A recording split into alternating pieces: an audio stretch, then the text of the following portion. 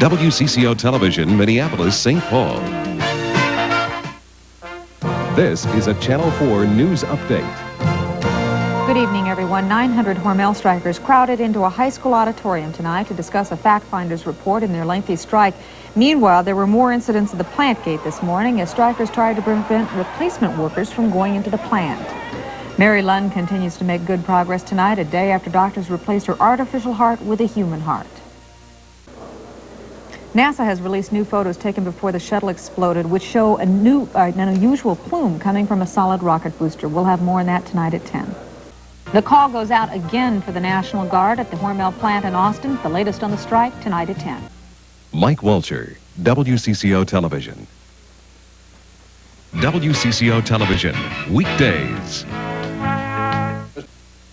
Dateline, Minnesota. After nine years of Arctic air and blinding blizzards, Mike Fairbourne, meteorologist, is sent to Arizona for one week.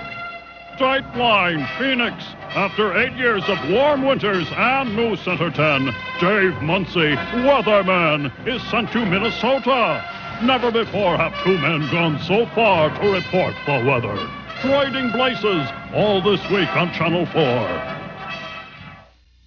I'm Alan Cox. Today's escalating insurance rates are making it hard to do business. That could mean fewer and more expensive daycare centers, layoffs for small businesses, or even closings, and higher taxes for fewer services. These are just some of the areas affected by high liability insurance rates. How will it affect you? Join me for a series examining the social and economic effects of skyrocketing business insurance rates Sunday on the 10 p.m. report. We listen, we watch, while each day television and radio bring us the world. And each year we honor the best in broadcast journalism. Dan Rather hosts the DuPont Columbia Awards. It's not just good news, it's the best. Wednesday night at 1035 on WCCO Television, Channel 4. Weekdays, they'll say anything They're wild out there. because they're looking for love. Oh boy, are we in trouble. Or they've already found it. I'd say you I'd say you've eaten more hot dogs than we've had sex. It's America's newlyweds I don't I don't believe this myself. and those swinging singles. I'm totally functional. Thank you. Thank you. Together for a full hour, weekdays on Channel 4. What caused the explosion of the shuttle last Tuesday? The latest theories tonight at 10. It's an all-star preview of the champions on America's hottest talent hunt, Star Search 86. Host Ed McMahon, plus Marilyn McCoo, Charles Nelson Reilly, Ben Vereen, and Ernest Borgnine introduce the qualifiers for the Tournament of Champions on the million and a half dollar race to the stars.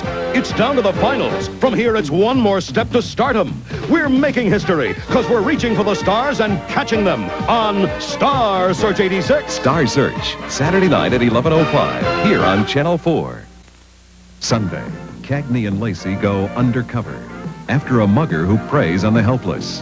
But Chris must fight a conflict within her own heart. I don't know if I can handle this relationship. Sunday at a special time, 11.05, here on Channel 4. Exciting prizes for exciting people Everything's gonna be all right, Jacqueline. if the price is right. I'm gonna go for it. Weekdays on Channel 4. The Benny Hill Show is sure to tickle your fancy. Don't miss his outrageous sense of humor. Tonight, following the 10 p.m. report on Channel 4.